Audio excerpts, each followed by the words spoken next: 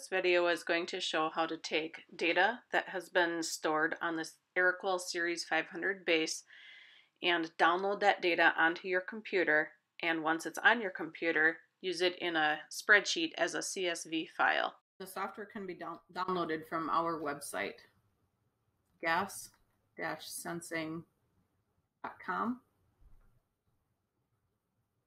And then if you navigate to the Series 500 product page and scroll down.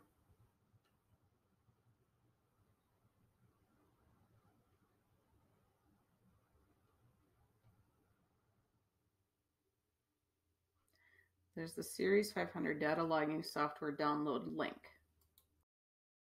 With the Series 500 powered off, plug it into the computer using the supplied USB cord. Then power it on. I'm going to double click on the icon to open it. When the program is open, the first thing I need to do is make sure that the correct COM port is selected so that the monitor is communicating with the computer.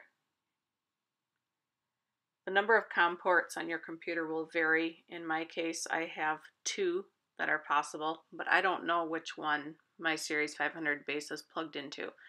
So I pull up my device manager on my Windows computer. I go to desktop, click the down arrow, and click on ports. I see here that I'm using COM port 5. So I need to identify that COM port inside the program.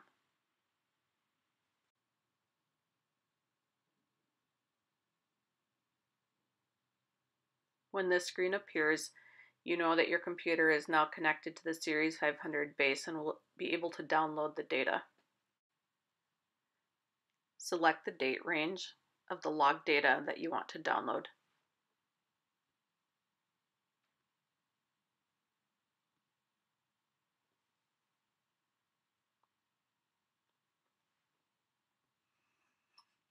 Then click Export.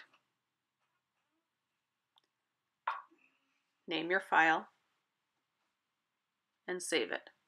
This video shows how to download data from your Series 500 base onto your computer as a CSV spreadsheet file.